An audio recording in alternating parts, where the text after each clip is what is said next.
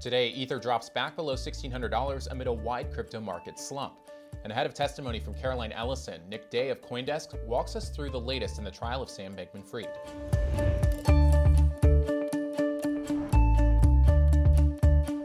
Welcome to CNBC's Crypto World. I'm Jordan Smith. Crypto prices moving lower to kick off the week, with Bitcoin sliding more than 1.5%, Ether dropping more than 2.8% below $1,600, and Solana falling more than 5.5%.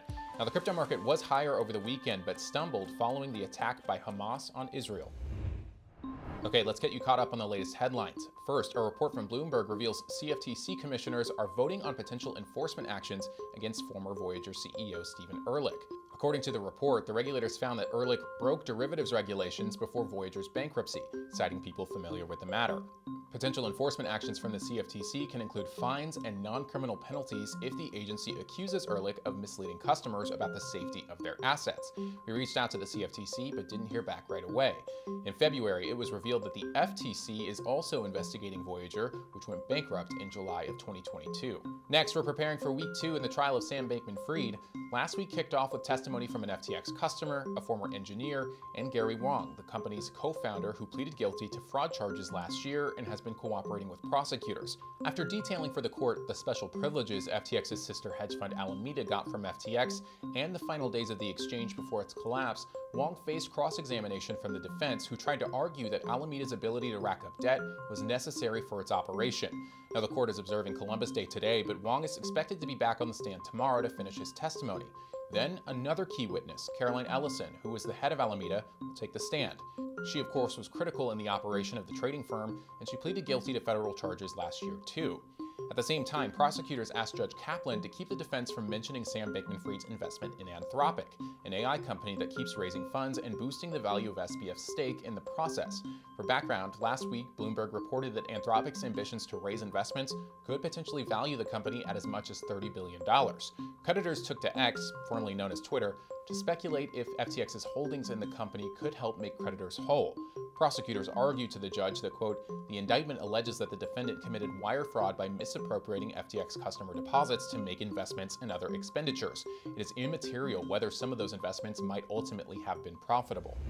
All right, for more on the trial, I spoke with CoinDesk's managing editor for global policy and regulation, Nikhilesh De, who's been closely covering Sam Bankman Fried's trial at the courthouse. All right, so week one of the trial for Sam Bankman Fried is out of the way. We've we've already gotten to witness testimony from people like Gary Wang, and and we're all, we're talking on the show about uh, some of the biggest details that have come from that testimony, like the the bug in the code that was apparently allegedly um, given to Sam Bankman Fried. He was warned about it ahead of time. Uh, you're in the courtroom. After hearing some of this testimony, how effectively are prosecutors making their case that Sam Bankman Fried was aware of mismanaged funds on the platform? Hey, good morning. Yeah. So I would say the DOJ has so far been very deliberate about how they're presenting the case to try and really lay everything at Sam Bankman Fried's feet. You know, they're saying that he directed uh, you know not just mismanagement of funds per se, but rather uh, he directed his employees to you know perhaps turn a blind eye to some of the you know malfeasance that they saw or the issues that they found. Uh, so you know you referenced the bug. Sam Bankman-Fried, um, you know, told his employee allegedly that discovering that you know they had a multi-billion-dollar hole was not you know a huge issue uh, he told another, you know, employee, or he told his co-founder rather, that you know they should allow Alameda Research, the sister company to FTX, to be able to go negative and to be able to, you know, tap this massive line of credit that allowed it to ultimately create that eight billion dollar hole.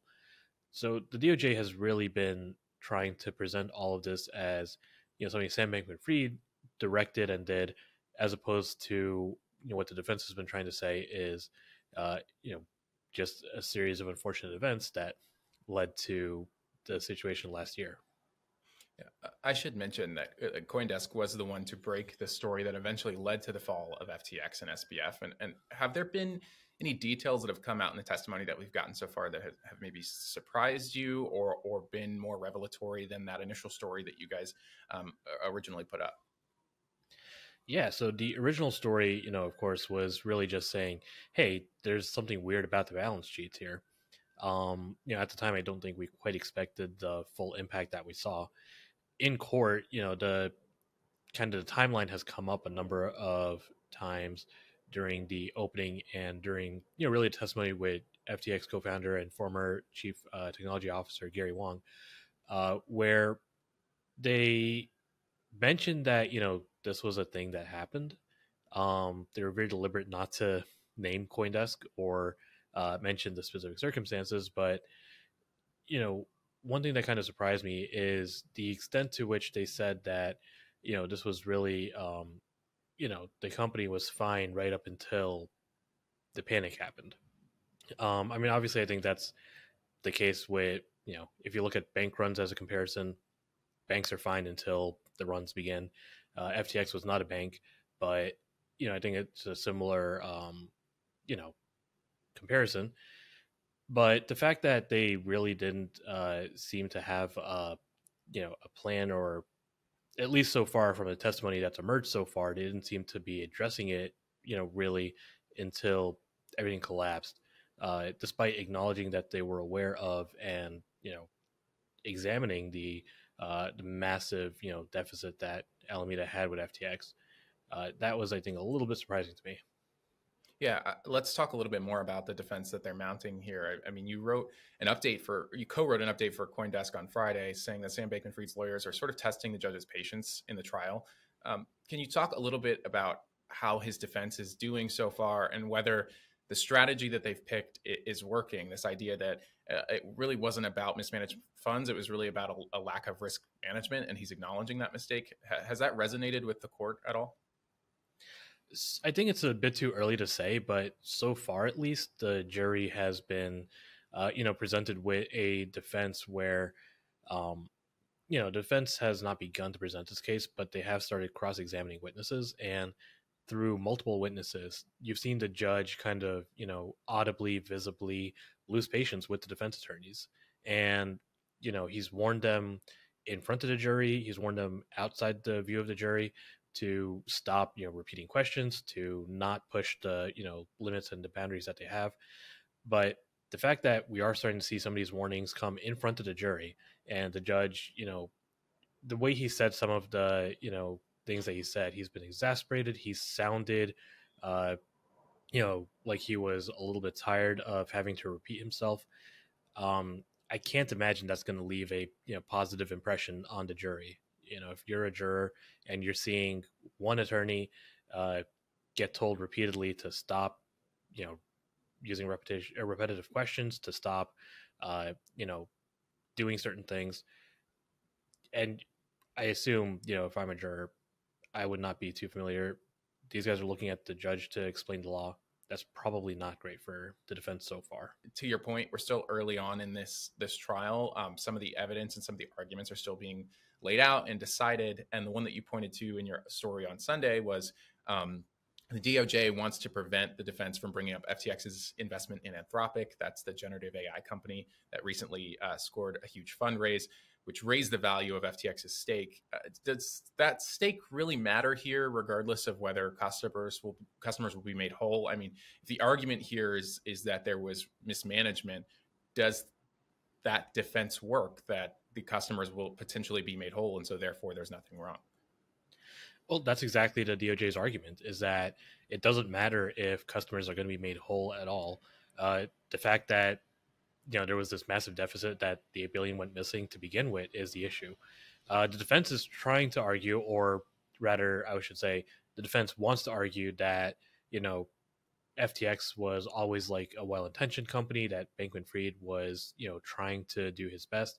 And so if customers are being made whole, then that's a sign that, you know, he is and in fact did uh, do his best to protect his customers. But the DOJ is, you know, as you mentioned, you know, that they're not really buying that. They want to say that, you know, he took these funds, he bought things with them that were, you know, these funds belong to customers and he bought his uh, you know, stake in Anthropic. He bought houses. He bought other luxury goods, um, and so that's still mismanagement. That's still fraud.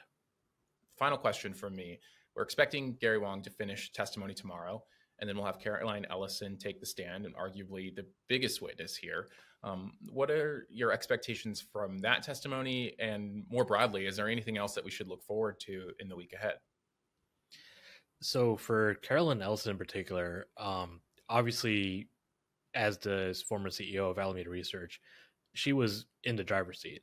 Um, I, I think we're really looking forward to seeing what she is able to say about the circumstances by which Alameda, you know, took FTX customer funds, used them, how those funds were lost. You know, was it really, you know, for example, did the Terra Luna collapse last year really have such a dramatic impact on Alameda, or were those funds already being, you know, dispersed and lost beforehand?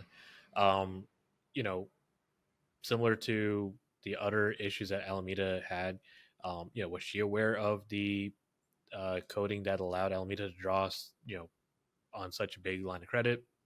I assume the answer is yes, but um, you know, to what extent did she feel that that was a you know a cushion for her? All right, that's all for Crypto World today. We'll be back again tomorrow, and we'll see you then.